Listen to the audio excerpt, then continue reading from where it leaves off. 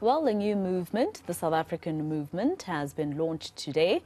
The movement by concerned citizens aims for uh, aims form a people's summit, which uh, will interrogate the trajectory South Africa has taken since the dawn of democracy. For more on this, uh, we are joined now by the convener, Solly Moeng. He's here with us in studio. The first thing that I saw um, about this movement is that it's not a political party. No. So, uh, but you're going to be on the ballot paper? No. No. All right. So just explain to us exactly what this will be doing for citizens. Look, everyone, or many people, many egos, yeah. I'm not saying it in a bad way, think they have the answer yeah. to save South Africa. Mm. They form political parties, they think they're going to be the next best thing. Yeah. And we have people in the political sphere, but also on the civil society movement side. So there are lots of parallels running. Okay. Everyone thinking they have the answer. Now we said, and, and, and we've been waiting for too long for politicians, for people going into party, mm. into, into elected politics, mm. to come back with, to us with answers. Mm. We've given a lot of power over 30 years. It's going to be 30 next 30 years to politicians. Now the United South Africa movement aims to say, to bring the people of South Africa together, to say, it's enough. We've given the tail, the political tail, too much time to work the dog. Let us get together as the people of South Africa, irrespective of what color you, you were, to decide what, what kind of country we want. So we're not looking for another savior to say, I'm going to vote for me, I'm going to go in there and solve the, the, th the thing is the more political parties we have in the space, the, the, the, the, the, small, the smaller the slice they're going to get, the ANC is going to remain the big pie.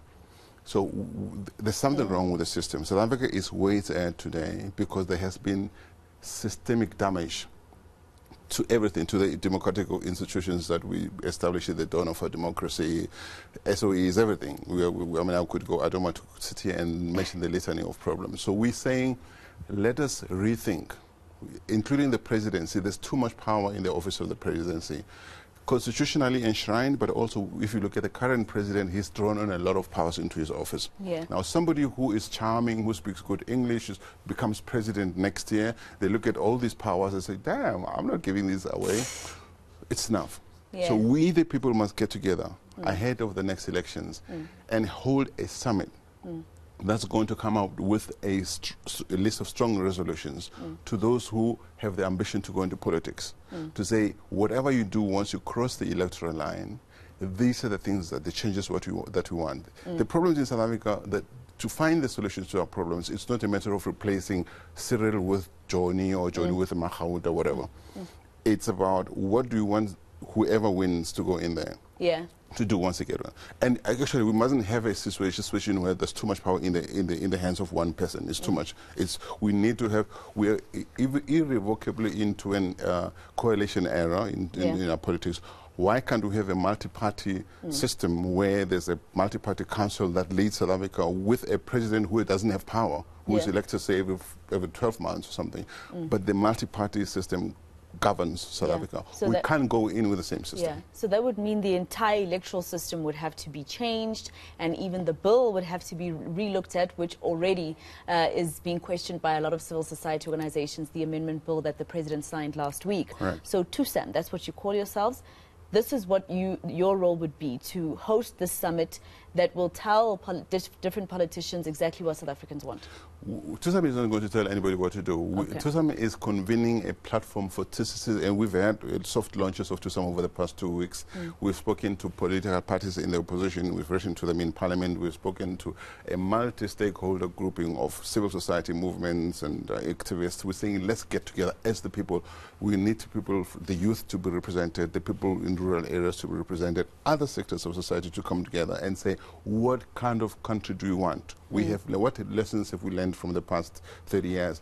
And we must come out there with a charter that says this and this and this must change. And we realize that not everything is going to be able to be changed immediately. Yes. There will be medium, immediate term, middle term, and, long and long-term changes. Yeah. For instance, there will have to be constitutional changes. If we want to change, for instance, the powers allocated to the presidency, we can't keep trying the same tools over and over again and expect mm. different outcomes. Something has to give. Yeah. So um, now, you know, let me go back to the point that you made a little earlier to say that our electoral system as a whole has to change. Um, the IEC, and I keep asking this question to people who say that, say, say that it needs about 18 months uh, to be able to prepare for elections.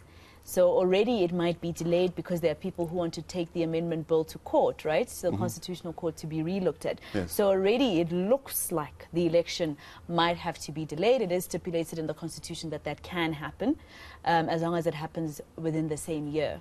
So if the electoral system changes, does that not mean that constitutionally we'll be uh, stuck with the electorate not voting possibly next year and waiting another few months?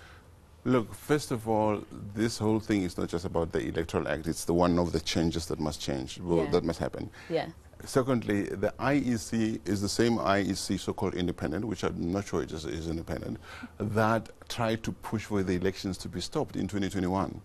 We know, and we can pretend all we want, that the, A, the ANC controls the IEC. Many of those people at the head of the IEC are deployees. We need to create more buffer between the institutions of democracy and any political party, irrespective of who they are. So this IEC will take instructions from the political masters. They will try and play the game. We need to get to a point where even this is changed. We need to say to the people of South Africa what kind of independent, right now we don't have it, commission do we want for elections? Mm. What kind of education system? What kind of uh, um, foreign policy do you want? What kind of position do you want for South Africa in the mm. world? Yeah, just very quickly, do you still believe, though, really that the IEC is slanted towards the ruling party, especially after you know seeing the trajectory of how the electorate or elections, the results of the elections would come out. I mean, you saw um, democracy coming at play back in 2021, where coalition governments came on because the um, IEC was the one that reflected that the electorate shrunk, people didn't come out to vote, the ANC lost some uh, municipalities. So do you really still think that they still slanted towards that?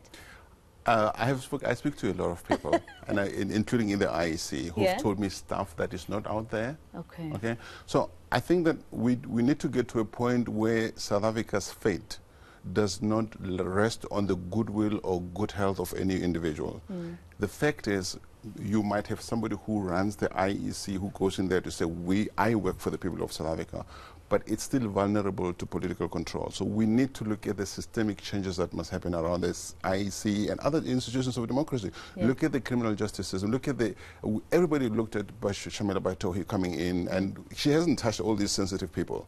Okay, everybody's going running, running around the Guptas. The Guptas, they were excited to go after the Bester because he's an easy target. Somebody like Duduzane Zuma, who was a co partner of the Gupta enterprise comes in and going, come in and comes in and out of South Africa. Even, even he's, he's, even telling the world that he's going to become the next president. It seems like this selective prosecutorial uh, act, act, mm. activity or culture in there. Yeah. So the system, we're looking at South Africa as a whole, not as just one thing. To say okay. we've tried these things that we have for 30 years, something, something has to change. Okay. And the people must determine that, not the political party. We're not yeah. saying waiting for sorry to say, yeah, vote for me, I'm going to do it for mm. you. No, no, no. Mm. We must say once you go in there, these are the things that you want to change. Okay. All right. Well, thank you very much for coming into studio and speaking to us. That was Solly Moeng uh, from the newly launched United South Africa Movement.